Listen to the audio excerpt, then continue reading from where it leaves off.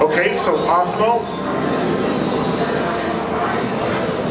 I forgot, that's right, Asimo likes to do its stretches before exercising, which I guess is a good thing to do, but um, in order for it to do this run, you see, both of its feet have to leave the ground if only for a moment. Now, Asimo is the only life-size humanoid robot in the world that can run at high speeds. Yeah, that's at 4 miles an hour, 6 kilometers per hour. So, Asimo, I'll tell you what, once you're done warming up, why don't you give us a signal to let us know that you're ready and we can start. Okay? Oh, by the way, just run to the end of the table there. Okay, are you ready? I am ready. Good. Here we go. On your mark, get set, and go!